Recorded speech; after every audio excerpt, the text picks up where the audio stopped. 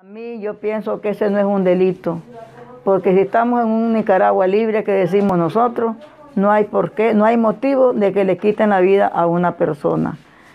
La persona que lo hizo se vino de, de allá para acá, mi chaval agarró una piedra para defenderse, pero la piedra no la lanzó.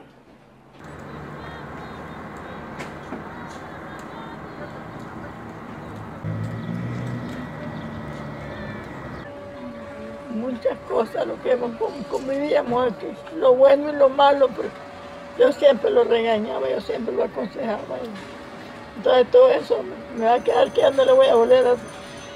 Ya no voy a poder discutir con él. Aquí pues todo el mundo lo alababan de que era una linda persona cuando él estaba bueno. Claro que él tomado sí, hincaba la perra. Pero él no veía que la demás gente no los iba a molestar. Él bueno y sano era una linda persona. No porque sea mi hijo ni porque se haya muerto.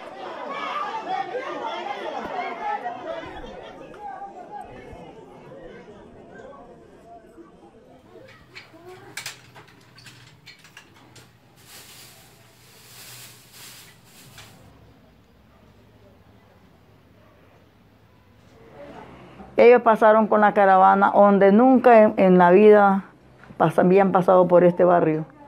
Pasaron por el, por el barrio, no por la calle, pasaron por la otra calle. Después que se terminó la caravana, ellos vinieron a, buscar, a defender, a, ofender, pues, porque otras palabras no. Ellos vinieron a ofender y mi, y chavalo, Jorge Luis Rugama, le contestó, viva Nicaragua libre. Yo estaba presente ahí. Y él le dijo, yo sí te voy a matar, y le puso la pistola en el cuello. Sin haber otro motivo, porque mi chavalo no le dio lugar. Ya de que mi hijo cayó, ya cayó desfaratada la cabeza, porque ya mi hijo no movió pero ni un dedo. Él solo andaba con dos personas más, con su hijo de él y otra persona que es el que va de testigo. Ese parece que él, tras que hizo el daño, aquel se corrió con la pistola. Y él corrió y él, y él todavía se vino a sentar a la acera pegado a mi casa. Ahí se vino a quedar el hechor.